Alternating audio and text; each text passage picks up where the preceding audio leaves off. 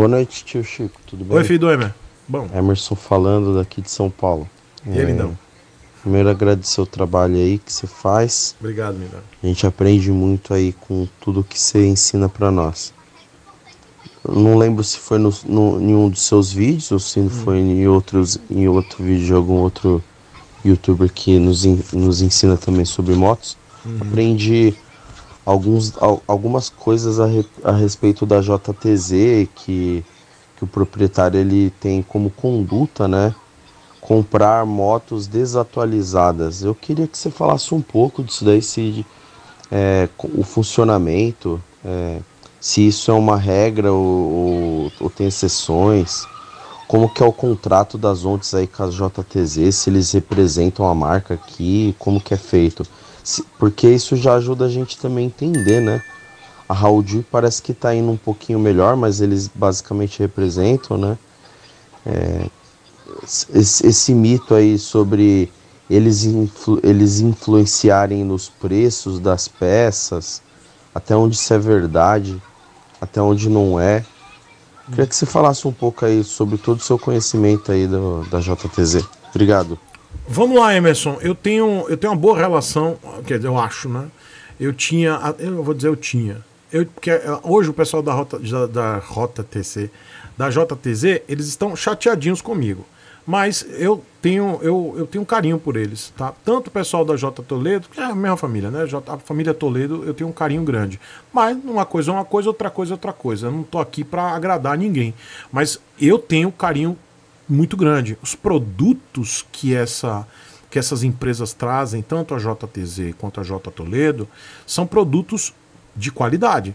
Não tem nenhum produto bosta. Não tem. Todo catálogo é de qualidade, confiável e durável. Tá? Só não posso falar das ontes em relação à durabilidade, porque acabou de de aportar no Brasil. A gente não, não tem como dizer a questão da durabilidade, porque é um produto muito novo no mercado brasileiro. A gente não sabe como é que vai ser a durabilidade nos próximos é, 4, 5 anos, é que a gente vai ter uma noção é, de durabilidade desses motores com a nossa gasolina, com o nosso asfalto e toda toda a estrutura que nós temos aqui no país, que é diferente da Europa, é diferente de outros países vizinhos, então não dá para a gente falar da durabilidade. Eu falei cinco anos, mas antes disso dá para a gente ter uma noção, né? É, já a JTZ, quando trouxe a Hauju, é, a gente hoje já sabe que todas as motos são muito duráveis, confiáveis. E Suzuki, que os caras, a J Toledo já traz há mais de 30 anos, né? Completou, se não me engano, ano passado, 30 anos. Em relação ao que você ouviu de outros canais, não sei, eu vou deduzir aqui se você ouviu de outro canal, não sei, é, em relação a trazer produto desatualizado. Eu vou explicar isso. Eu já fiz um vídeo, eu vou repetir essa questão da JTZ é, com as ontes.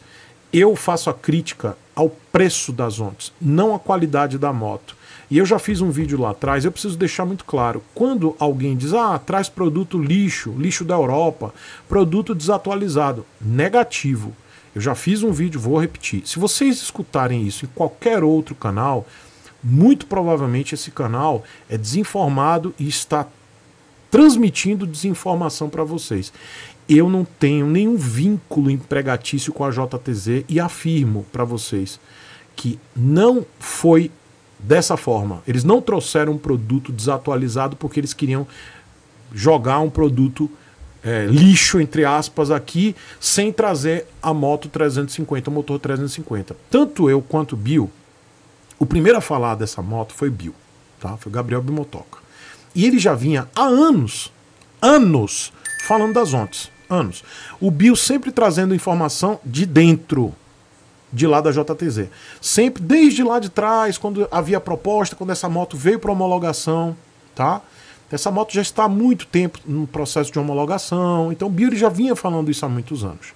E uma coisa que a gente soube, e eu digo tanto eu quanto o Bill, e a gente nunca propagou esse tipo de notícia de desinformação é que a JTZ ela não teve a intenção de trazer uma moto desatualizada. Não foi essa a intenção da JTZ. E eu falo isso com toda a credibilidade que eu tenho e criticando a JTZ nos tempos de hoje do preço praticado nas ondas, que eu não recomendo mais as ondas, pelo preço, não pela qualidade. Mas lá atrás, quando a, a, a JTZ trouxe as ondas e trouxe a homologação dos três modelos T, V e R, Eles não sabiam que a Zontes iria atualizar para o modelo 350. Quando uma montadora brasileira, uma empresa brasileira traz um veículo para cá, seja Honda, Yamaha, JTZ, Suzuki, não importa. Existe um tempo de homologação, porque o nosso país tem, tem leis de leis de trânsito, obrigatoriedade de colocar alguns itens. Aqui algumas motos tem que, ter, que ter ABS, tem que ter alguns itens de segurança e as leis de emissões de gases poluentes e de ruído, que aqui no Brasil é muito severo. Então essas motos quando vêm para cá, elas têm que ter um tempo de homologação. A homologação custa dinheiro, não é simplesmente trazer e falar, ó, oh, trouxemos, viu, governo? Não, tem que pagar tem que trazer um modelo para cá, aí traz a moto para cá e tem um processo de homologação, tem custo envolvido, tem laudos que se paga. Então a JTZ ela pagou laudos. Ela trouxe os três modelos para homologar aqui há anos. Não foi, não foi ano passado. Tem pelo menos dois ou três anos que eles fizeram isso. O que, que aconteceu? Nesse tempo, quando eles fecharam o contrato lá com as Zontes na China, a Zonte simplesmente lançou o um modelo novo e não falou nada para os caras. Eu garanto só vocês. Porque se a JTZ soubesse que ia ser um, lançado um modelo melhor, porra, por que, que eles vão trazer um modelo 310? Então não foi intenção. Eles com certeza eles aguardariam e trariam um modelo 350 para homologar aqui. Seria o mais óbvio. Nesse caso, não foi má fé, não foi intenção de trazer um produto inferior para o Brasil. Tá? Até porque a diferença de preço lá na Europa da 310 para 350 não é muito grande. Mas a fábrica lá na China lançou enquanto os modelos 310 já estavam em processo de homologação aqui no Brasil, ou seja, laudos pagos, homologação em andamento. Aí vocês acham que ele simplesmente JTZ ia jogar todo o dinheiro gasto nesse processo para cima, dizer não, vamos parar todo o processo e vamos trazer a 350. Você faria isso? Obviamente que não. Quando você fala em custo envolvido na operação. Não existe isso, gente.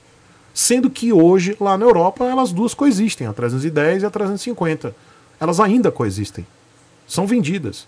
Então a JTZ fez o que tinha que ter sido feito. Continuou com o processo de homologação e trouxe as motos. Então eu garanto a vocês, sem nenhum rabo preso com empresa nenhuma, eu não tenho rabo preso, eu não quero agradar empresa nenhuma. Mas eu tenho que trazer a verdade para vocês. E não disseminar uma, uma, uma inverdade. Eles não tiveram interesse de trazer lixo para cá. Eles já estavam em processo de homologação. E o primeiro que trouxe essa informação não foi Fulaninho, nem Cicraninho, nem Zezinho, nem Bostinha nenhum. Foi Gabriel. Foi o Gabriel Bilmotoca que trouxe isso para cá. Eu sei disso há anos. O Gabriel vem falando comigo isso aqui há anos. Foi o primeiro cara que falou isso aqui. Foi o primeiro cara que trouxe essa informação para cá. Então, quem disser isso para vocês, tá mentindo, eu tô até sendo bonzinho, falando em verdade. Tá mentindo, tá desinformando. Tá bom? Então tô dizendo aqui para vocês. As Ontes não veio para cá, a JTZ, ela não quis trazer um produto ultrapassado. Eles que, se eles pudessem, tivessem tempo para trazer a 310, eles já tinham trazido para fazer a homologação. Mas durante o processo de homologação das três motos, eles lançaram, sem aviso prévio, a 350. Eles poderiam, as Ontes poderia ter avisado, olha, peraí, não, mas para eles o interesse era fechar esse contrato logo e vender a 310 para a fábrica. Então a JTZ já estava no processo, já tinha gasto dinheiro, já estava com laudo tudo mais. Então por que jogar tudo isso para cima e trazer a 350? Porque tem burocracia, nós temos um país muito burocrático, tá bom?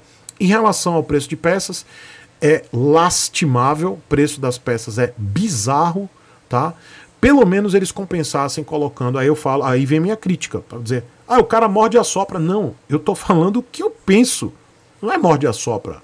Eu não tô aqui para agradar ninguém. O problema é que as pessoas elas estão acostumadas a sempre uma pessoa ficar batendo palma, batendo palma, falando bem, falando bem, falando de adesivo, falando de cor e sempre dizendo, ó, oh, tá tudo certo. Não, eu tô dando fato, defendendo a empresa por uma verdade e outro dizendo a empresa tá vacilando, coloca um preço alto na moto, por isso eu não indico a moto mais e vai enferrujar nos concessionários como está enferrujando. E ainda coloca preço alto das peças. Então, vai flopar. No dia que as Ontes, Brasil, JTZ baixar o preço, eu vou ser o primeiro a dizer: comprem, a moto é boa e é, mas o preço está valendo. As peças são caras, mas o preço é competitivo. A Royal Enfield era assim: preço de aquisição baixo, peças caras. Hoje ainda é assim. Peças caras, mas a Royal vem perdendo a mão cada vez mais. Aumentando o preço das motos e a peça lá é cara também. O que, que vai acontecer? O que, que já está acontecendo com a Royal? Desde junho, queda nas vendas. Pode olhar nos emplacamentos da Fenabrave. Pode olhar lá. Queda nos emplacamentos da Royal. porque Aumentou o preço, peça é cara. Zontes, seguindo o mesmo caminho. Preço de aquisição caro, peça cara. Essa é a minha questão. Mas dizer que a JTZ trouxe lixo para cá, entre aspas, isso é inverdade. Não, mentira, tá? Porque os caras eles não tiveram intenção de fazer isso. E o produto é bom, tá? O produto é bom mesmo. Só o preço que não vale a pena.